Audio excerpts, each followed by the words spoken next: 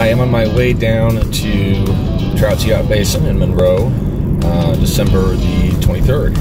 Enjoying my nice long break over the holidays, and I have all kinds of projects on my list of things to do or things that I want to get accomplished. Usually, that list is three times the size of what I actually get accomplished, but I'm not complaining. Uh, so far, everything that I want to do over the wintertime is is going okay. Uh, one of my biggest challenges is not allowing too much project creep uh, to happen over the break uh, or over the winter time. I did that over the summer and the boat didn't get in the water. Um, I mean, I was disappointed I couldn't get it in the water, but I did get a lot of stuff done on it that I wouldn't be able to do right now because of the temperature. It's in terms of, you know, epoxy work, you know, anything involving uh, paint, that kind of stuff. So today, what is on the, the agenda is I have made a makeshift uh, tube puller. Um, the last time I tried to get the cutlass bearing out, everything is uh, that I thought was going to give me trouble turned out to be not that big a deal. Mostly probably thanks to PB Blaster. Can't say enough about that stuff. It's really, really good prop came out, the coupling bolts came out, the coupling came off, and separated from the shaft. The shaft came out. All of that happened without me causing any damage to any parts whatsoever.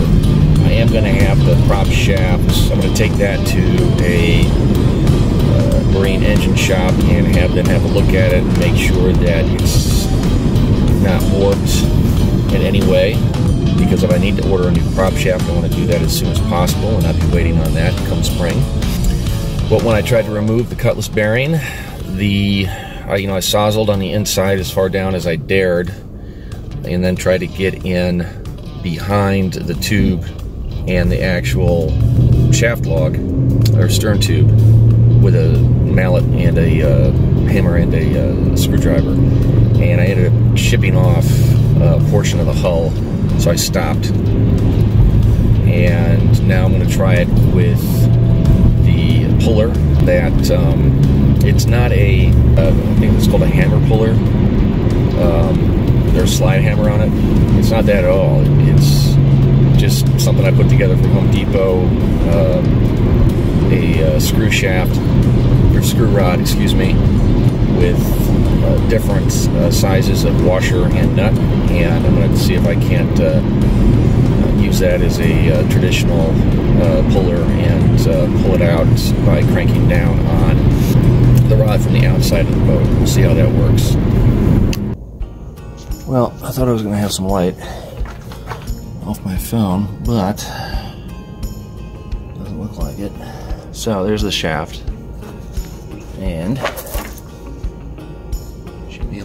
pull it right out.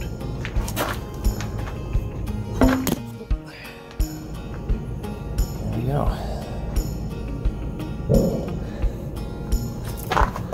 Well, prop is, or the, um, the shaft is out, and that is the cutlass bearing. The way I've seen this done is with the sawzall. All right, on to the next part. Okay, let's see what we got here.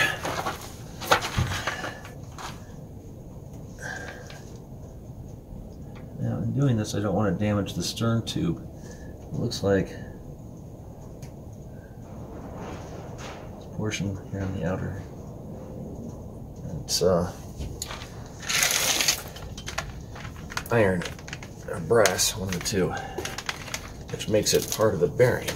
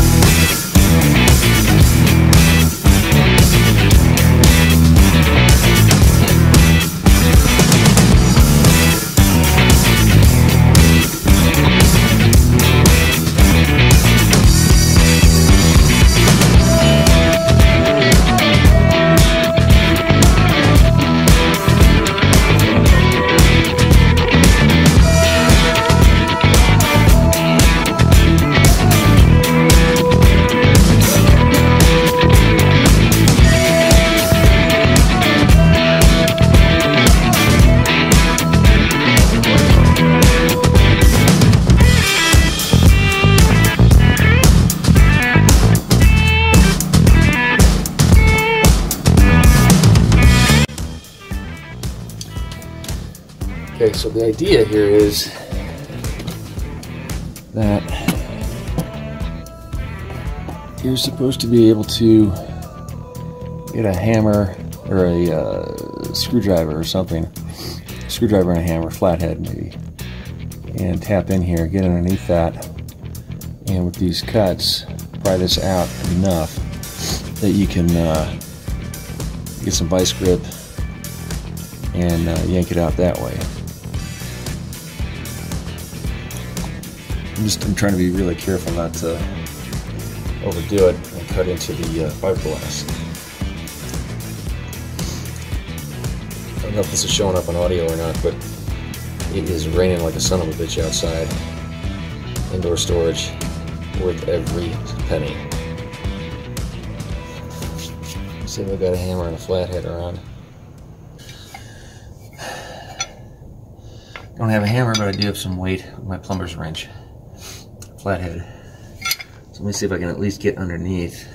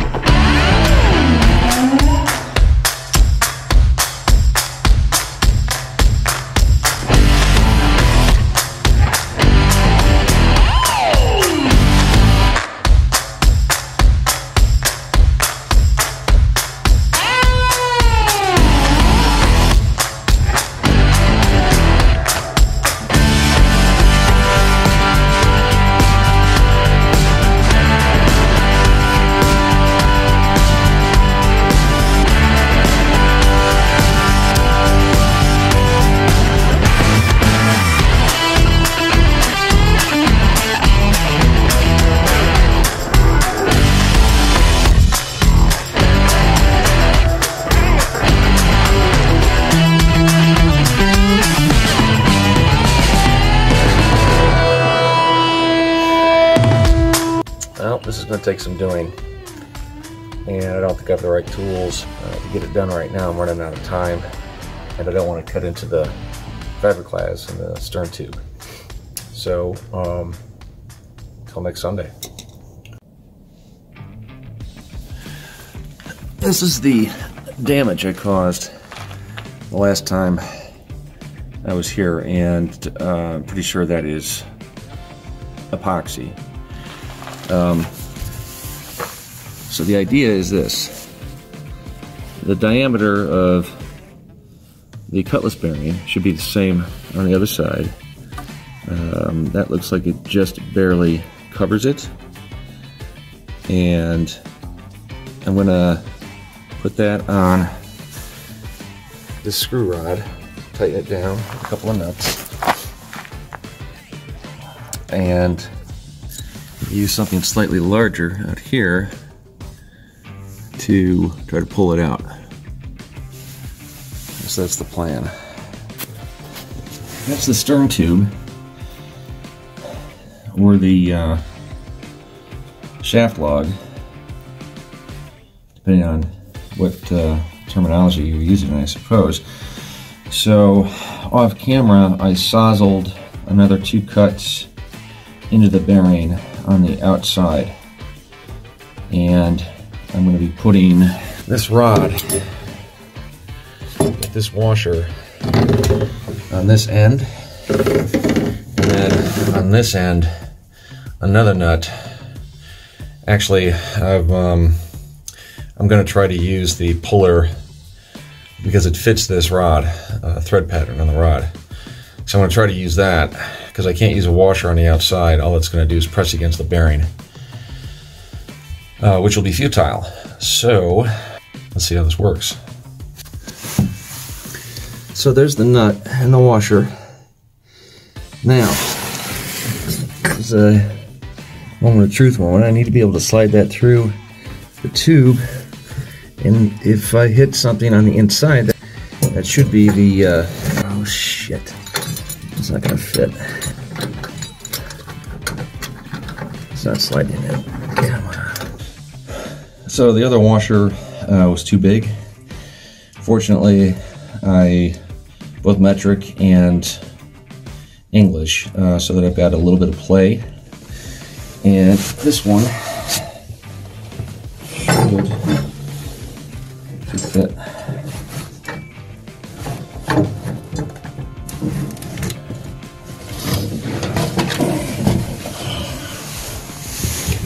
Reposition here. Oh, this is gonna hurt.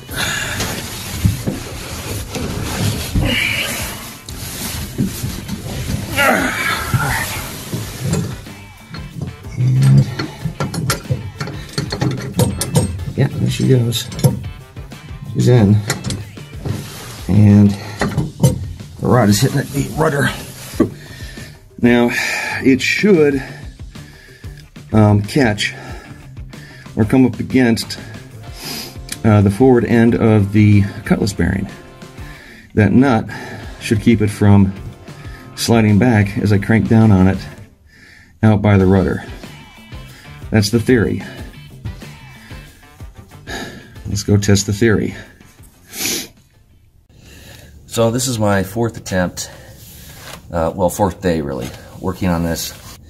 I pointed this out before. This is the part that uh, chipped off uh, when I was trying to collapse the interior portion of the cutlass bearing. So what I've done is create these blocks, which are two inches. They'll slide right over the rod here, um, which will give it enough room or clearance for the bearing to slide out as I'm pushing against it. The last time I was here, I didn't have this. On the other side is a nut holding in a washer that slides into the sleeve um, of the stern tube, not the bearing. So it should um, bring the bearing out as I take the top end of the puller I bought at Harbor Freight because it's threaded at a half inch, which is what the rod is here. And try to pull out the other end. Now,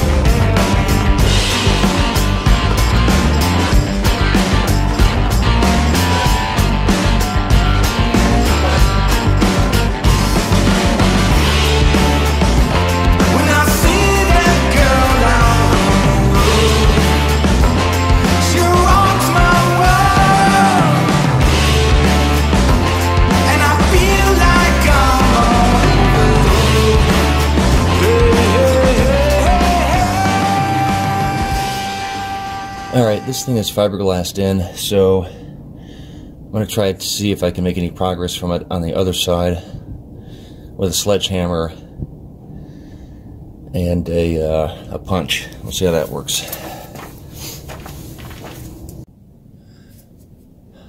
This looks like I'm making progress. I'm using a sledgehammer um, in the engine compartment with a pipe, a heavier pipe. It's a little more robust than the uh, washer screw scenario that I had set up. And it seems to slowly be coming out millimeter by millimeter. So I'm going to try to catch some of this on camera, just uh, so it's not my imagination that I'm making progress here. That looks like a golden turd.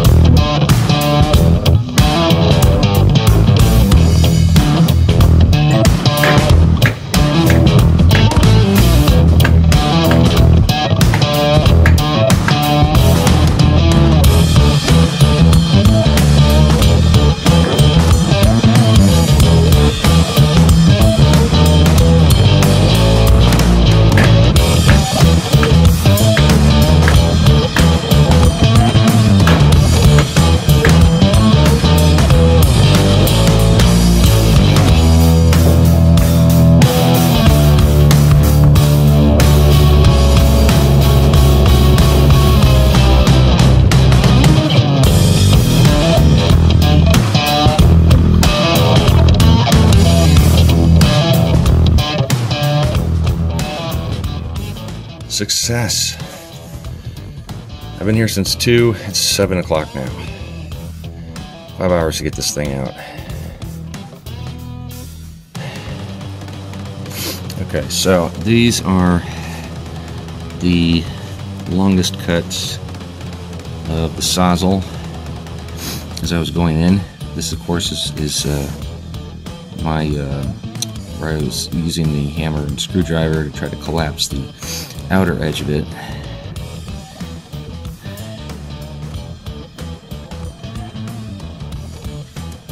So it looks like on the uh, opposite end. Uh, so, you know, there's some rubber there, but even the rubber's collapsing. Um, so yeah, it was definitely time to get this replaced. Now, the point of this was I was trying to avoid any damage. and as I resigned myself to the fact that this stuff was going to have to come off because I started to see the actual bronze outer edge of the bronze uh, stern tube here. It looks like this portion here is all epoxy, um, which can be easily molded back in. Now there's a saw mark. Um, I was trying to avoid that. Hopefully it uh, doesn't cause uh, too much problem. And I think there's one on top, maybe a small one there. Okay, so time to order a new cutlass bearing. Uh, and then just wait for the weather to warm up so I can take care of that. I really hope I didn't damage the end of the stern tube here. Uh, in terms of alignment with the engine, I don't even know if that's got a if that's a something that you need to be concerned about on this end or not. I'll have to check it out. Okay.